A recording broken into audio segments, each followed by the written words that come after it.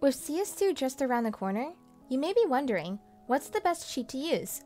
On your main of course, because cheating on alts or crack accounts isn't fun and only poor people do that. Without stepping it up in the last year with all the ban waves, it can be concerning to risk your main after seeing the constant barrage of high tier accounts getting banned. So I'm going to explain the differences between cheats and what I think is the safest approach going into CS2. Internals. Internals are the bread and butter when it comes to cheats. But what exactly does it mean if a cheat is internal? As their name suggests, internals inject into the game directly. This will give you access to so many new things that otherwise aren't possible normally, from visual features such as night mode or skin changer, to game-breaking features such as backtrack or anti-aim. If you want a cheat to be as strong as possible with many cool features, internal is the only option. The downside to that is internals are the most likely to get detected. You are trading security for quality. There's no truly safe internal anymore. Cheats like Aimware, Midnight, Memesense, and Skeet are all very likely to give you red trust at some point.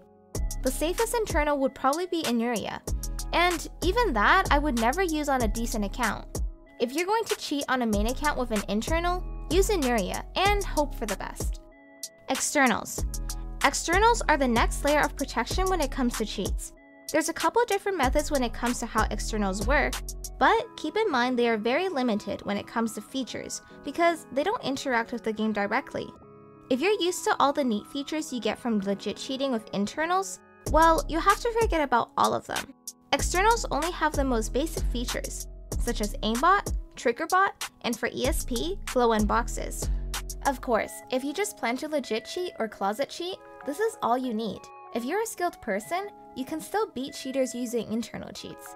Although the chances of getting banned with external is much lower than with internal. You're not completely safe and there's been many externals that have gotten detected in the past.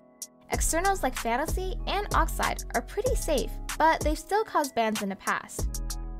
DMA or Direct Memory Access is the final level, and if you even want more protection.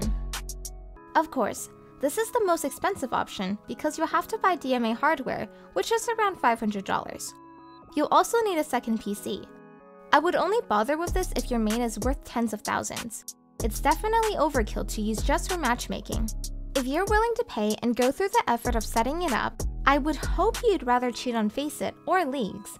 DMA cheats are basically a 0% chance of getting detected. In terms of features, it's the same as an external. Standard aimbot, triggerbot, box ESP, etc.